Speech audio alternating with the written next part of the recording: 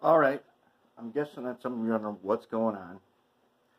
So lately, I've been handling switches, and usually most people find that kind of boring, so I haven't made a bunch of videos of it.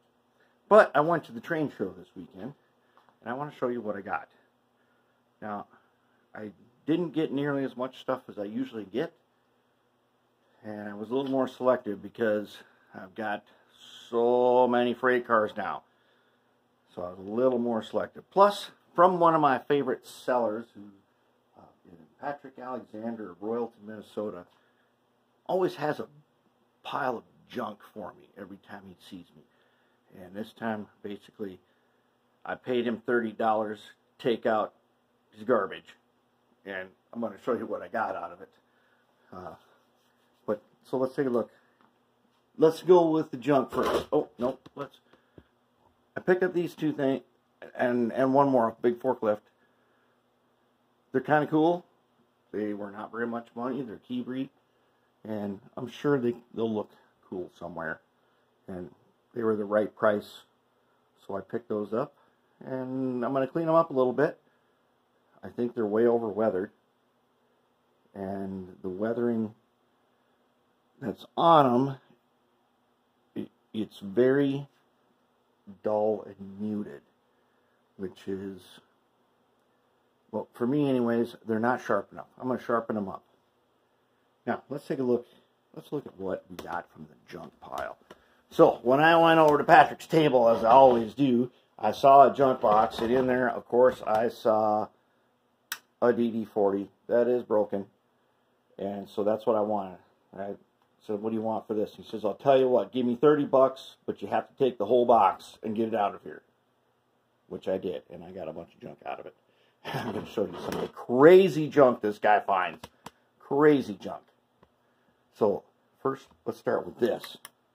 I don't know what it is, but it is definitely a junker. Somebody scratch built this way back when. It might be partially metal and it had this so I mean this is not not terrible. I can do I can do something with that. It is for the most part complete. And that I can fix up. This after I get out this out of the paint stripper and see what parts are on it I I don't know what I'm to do with it. But it is definitely I, I can see a Tyco front end. I can see another front end under here. And I don't know what in the heck. This might be just scratch built out of styrene, some cab, and total junk.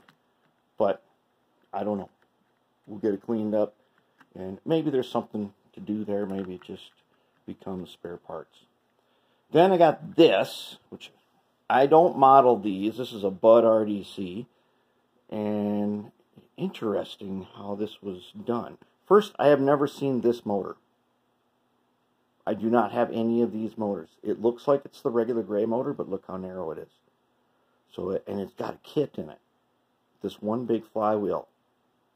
Now, I have some kits for repowering stuff that come with this one big narrow flywheel. So, I don't think this is original. But these are definitely Tyco wheel sets that were made on this shaft for the rubber band. And then there's a bunch of stuff glued all over the place on this. I'll get this cleaned up. And but th this kind of interests me for my Athearn Hi-Fi drive.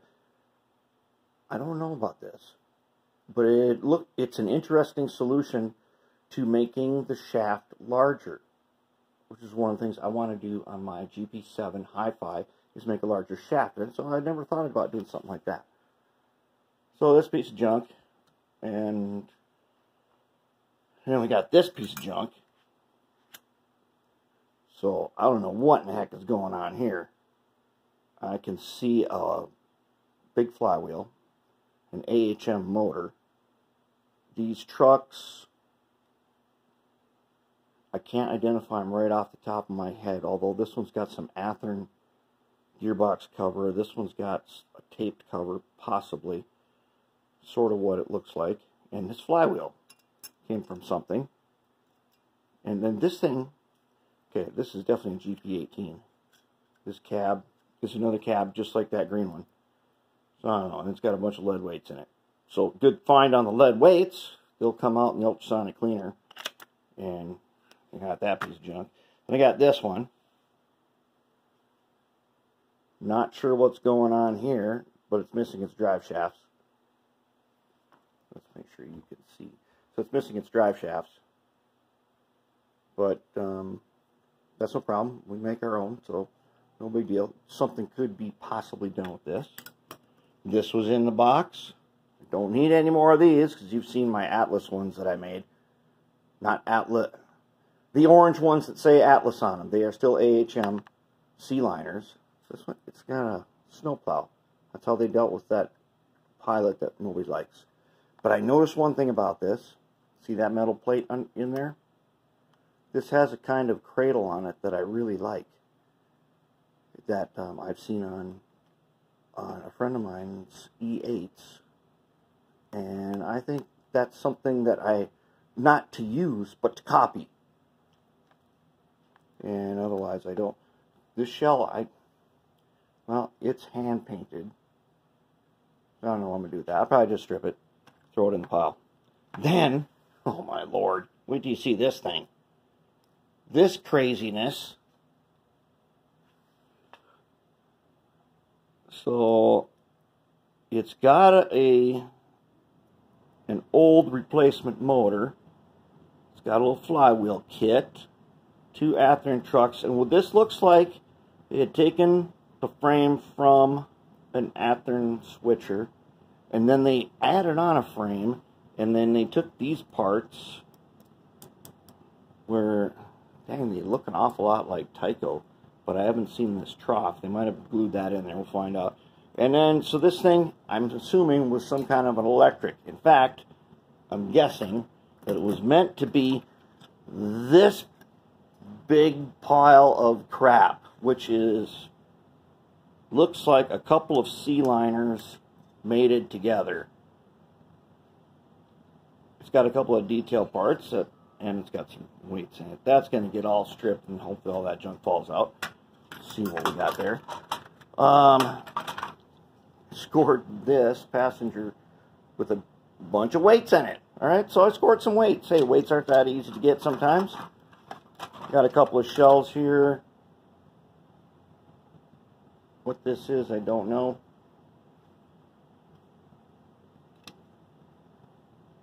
Not sure what that is. It might be. I don't think it's RDC because I don't see a headline. Oh, it doesn't matter. I got an Amtrak shell. I don't model passenger trains. Price 10. This was in the junk box. This was more like price 10 cents. I got that. I got what appears to be a shell that had some detail work done to it because it's definitely got at least one replacement. Maybe, maybe these are all replacement fans. Eh, another piece of junk. Raw material is what it is. Then, also in the junk box, these two cars, another pickle car. Have no idea what I'm ever going to do with that. Another tank car. I've kind of sworn off tank cars. I had my fill after building a ton of shorty tank cars which are always cheap, and the reason is because those kits take time. Then I got this. I don't know what in the heck this is supposed to be, but that was in the junk box. I got this little strange industrial switcher too that is somehow cobbled together from who knows what.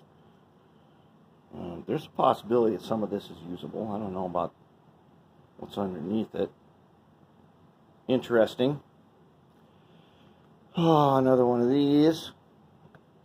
Another one of these. I don't really model steam engines, but I do work on them. This got a bunch of stuff on it. I don't know what I'm in. We'll worry about steam engines another day. Now, going back over here. Look, when I saw this in the box, I didn't pick it up because I thought, oh, it's an S scale? Or what? No, it's not It's got a giant weight in it though. some kind of a Bachmann underframe. It says RS12 Baldwin. Well, an RS12 is an Alco, but this is definitely a Baldwin end, steam cabs. I don't know what this business is all about. And I think this is, it seems like it, it's brass or something. I don't know. That one is going to get stripped. This paint on here is so thick. It's coming off, and we'll see what parts we get out of it. It's got, look at that. Look at the front ends. Salvage from somewhere. A tunnel motor. Oh, no. I see a giant gob of glue there. And when I took this apart, I found that the frame had been elongated. It's got this motor in it. Another one I don't have, but I wouldn't use. It's got two AHM SD40 trucks, uh, actually a partial truck and a truck, some kind of junker. Picked this up for $2. Another AHM, which is complete except for its roof. Not a problem. I can make a roof, or I could change cam, but it's complete. I don't need the motor, but although these motors, now I found a good use for them, I don't junk them. These motors, they have a special use I did not know about, and that is mounting them vertically. Mounting them vertically in things that use a vertical shaft.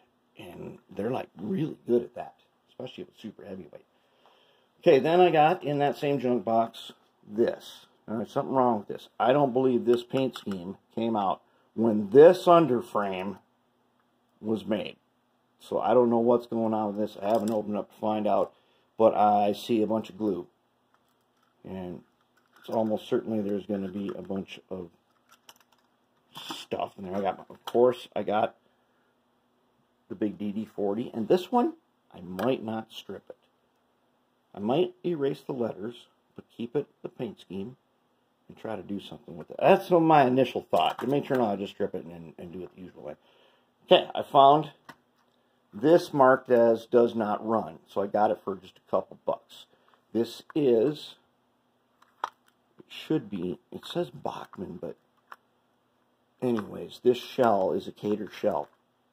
And the Kader shell is considered pretty decent. So I like GP30, so I picked this up just because it was there. It does not run. Obviously, it's not something I can't fix. Then, okay, one of the coolest things I found was I found this on a table and nobody wanted it.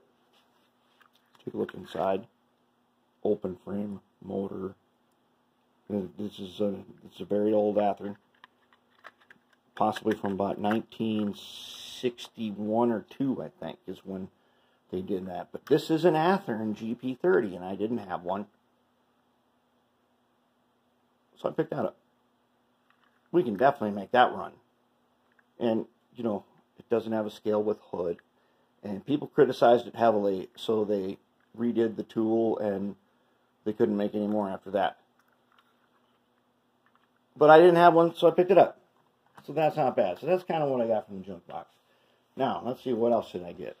So then, there was another guy there. And, oh, oh first, I went over to the table where it's like, it's like three for five dollars or something. So I picked up this gondola. Yes, you're like, why would you ever buy that piece of junk? Well, wait till you see what I can do with this. This is going to be cool. I'm keeping it Pine Hill logging, just yellow like it is. I'm going to do something with it. And then fix trucks, coupler, and we'll be, we'll be good to go. This is going to be really cool. That's a good piece. It looks a little weird. That's because it's just shiny plastic right now. But once I dress that up, I'm not going to heavily weather it. No, it's going to look really cool. I found this Bakelite plastics, and lately I've started to really like things that have big words on them.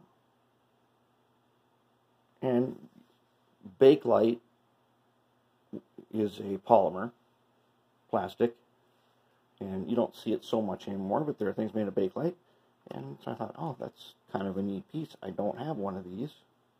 So pick that up for a couple bucks. Got this out of the what was it, 10 for 10 pieces for something. So I traded a friend of mine. I bought one thing on, on like the four for five, and he bought a bunch of stuff out of the 10 for like four bucks or something. Add this to my fleet, fix it up, it'll be good to go. Then at another table, this is an old tin plate. And I've got a number of these now. This was free. He said, take it. And I said, well, all right. Then what my plan is for these, I'm not going to weather them. I'm not going to strip them. I'm not going to repaint them. I'm going to clean them, fix the trucks and couplers, and then I'm going to make a, a train out of, I've got about 10 of these kinds of things. And I kind of like these old tin plates. They don't need to be weathered or nothing. They just need a little, just a little bit of repair. They'll make for a cool train. I don't model old time stuff, but um, they got kind of a neat little look to them that I like. And then, because I took one free one, he said, you also have to take this because it's also free. This, if I ever do something with this, it's going in the stripper and it'll be something else. So someday when I decide I want to do a bunch of those, that one's on the way back burner.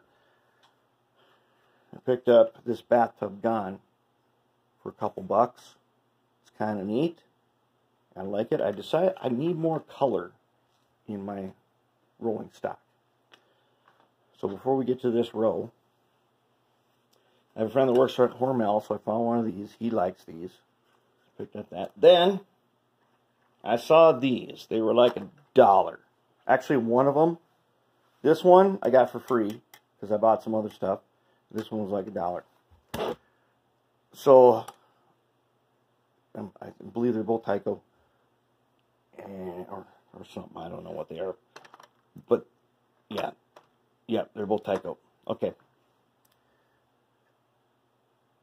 In the past, whenever I've had these, I've always stripped them and repainted them into something else. These, I'm not going to do that. I'm actually going to fix these up the way they are, and they should be pretty cool. I mean, I don't usually. I got a lot of plug door, especially beer cars, but um, I can do something with these. And it didn't cost me like anything. And then these two also cost me like nothing, and I have a whole bunch of these. This particular Erie Lackawanna, when I work the magic on this thing, these look so nice. I, I don't strip them or nothing. Don't keep keep the paint. They just need a little panel lining and a little dry brushing, and they're amazing. Same with the chassis. They really stand out. And I've got probably four or five of each of these, and they kind of look cool as a group. Okay, naturally, I saw another one of these to add to my probably 10, 10 of these now. When they get, get fixed up. And they also look really cool when they're fixed up nice.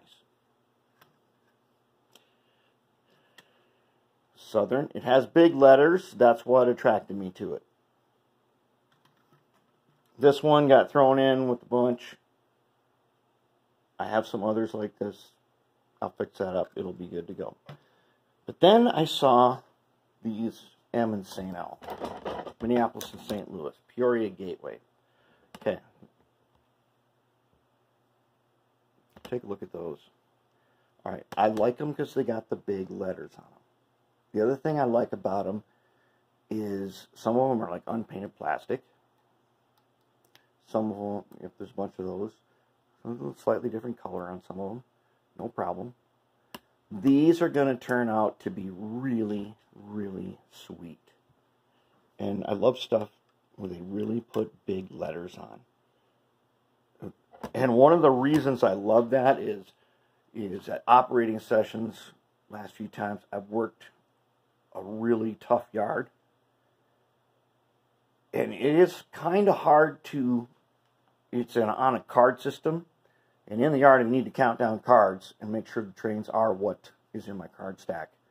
These, in that situation, would be easy to spot. And they're going to, these are things where, where I can spend a little bit of time and get a huge payoff on them. And they cost next to nothing. I got a group of couple, then I got a group of like six of them, and they really didn't cost me hardly anything. So that's why these are going to turn out really nice, and I like those. So that's kind of what I got from the train show. Not, I didn't really go for any new stuff or anything really special or great stuff. I just went for raw materials this time. And these, all these cars are good raw material. And what's good about them is I'm not going to recycle them. I'm going to enhance what they already are. So I'm going to push what they are kind of to their limit of looking cool. And they will. They'll look really cool. And these locomotives, the DD40 was what I wanted. And I, because I have so many of them, I didn't really care what condition it was in. It's not in good condition. And that's no problem. Because we can do heavy duty work on this. And this other stuff, a lot of this is going to go on the junk pile, but all of it is getting cleaned. It does not get to go to the junk pile. It does not get to go sit in the junkyard unless it has been cleaned. And that's kind of my new rule. And lately I've been taking stuff that is in the junkyard, cleaning it, and then putting it back so it is ready for that project where, you know, I need something. And I can do something special with it. So that's kind of what I got. Just done sorting the junk. I'm going to start getting clean them. And I'm going to show you, I'm going to make a video about doing these cars. I'll probably do one on video for you. And show you that, you know, sometimes not everything on your layout's got to be really, really super nice. It doesn't all have to be, you know, these have truck mounted couplers. Okay, I'm going to get rid of that. These are going to get Kadee couplers. And as a group, they're going to look cool. As just a single, you'd say, oh, look at that piece of junk. That's crap. But as a group, when they're all done up, they are going to be really nice. And the cool thing about them is they're not identical. So when I work on these, each one will will have it's like a in in computer programming. They're a class. But each member of the class is its own object. That's what's going to be neat about it. And then who knows? Who knows what's going on over here? A lot of it's just going to get paint stripped and it's going to go straight to the parts. Straight to the junkyard. Them steam engines, I'm not really going to touch those for a while because I don't know what I want. I don't operate steam, although I am working on that one on that one big one. That one's going to get operated. Those little ones, see what we can do. A little industrial switcher, it could be something maybe. Depends on what we find when we clean it up. But that's what's been going on. And here's my advice to you going to a train show. Um, see a thing. When you see a thing like this, this is getting used just the way it is. That's kind of the nice one that I got for the day.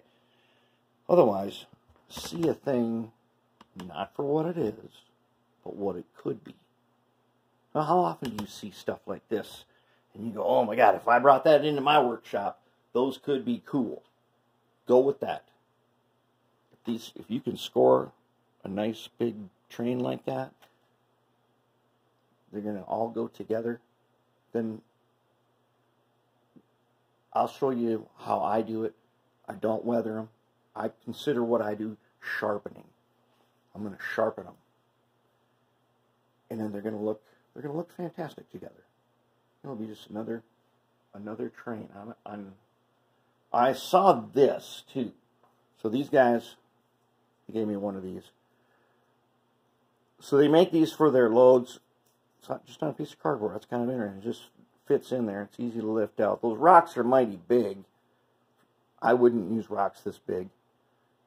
But I kind of like the way they the way they just glued it to a piece of cardboard. And and the, the train that they had these on, it was great because these are heavy. Very heavy. So I did pick up some of those big rocks when I was there so I can smash them down. And they had some that were smashed into like ballast size and they looked really good. And that's what I could do with this red train. It's gonna be gonna be something. So we got a lot of work to do. Still got a lot of track to lay. We gotta get, get working on old Colossus over here. I have not worked on Colossus for a little while for the sole reason if I keep working on them, I'm not going to get any track laid. And I got just this section that you're seeing right here down the middle is the only place that needs track now.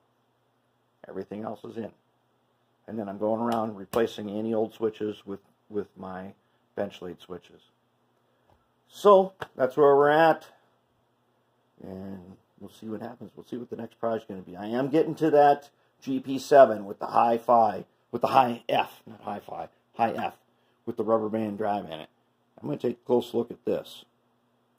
I got a box full of these parts. These are wheels Tyco. Interesting application. I doubt this thing works. It just it doesn't look like it was set up great, and that's why it was in the trash pile. We'll see. No, I'm probably not going to use that, but I am going to uh, examine how what they were thinking when they made it. All right, that's it.